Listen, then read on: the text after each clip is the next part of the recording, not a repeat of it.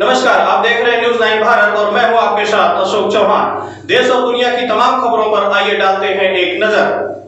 जनपद बहराइच के Sujauli police SSB team को बड़ी सफलता हासिल हुई। सघन तलाशी के दौरान टीम को तीन महिला तस्कर हाथ लगे हैं, जिनके पास से 18 किलो मादक चरस बरामद हुई है।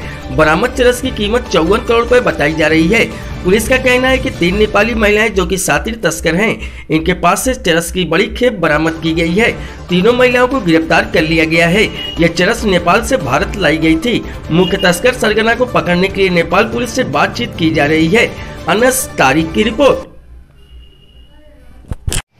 बीती रात थाना सुजौली क्षेत्र में मादक पदार्थों के तीन बड़े तस्कर गिरफ़्तार किए गए हैं, जिनके कब्जे से 18 किलो 500 ग्राम चरस बरामद हुई है।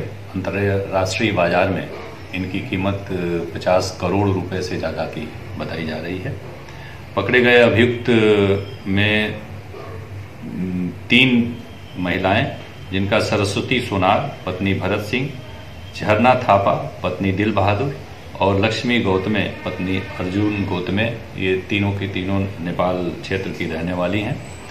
जो इनके मेन सूत्रधार थे, वो नेपाल में ही अभी हैं, जिसको पकड़ने के लिए नेपाल पुलिस से भी संपर्क किया जा रहा है।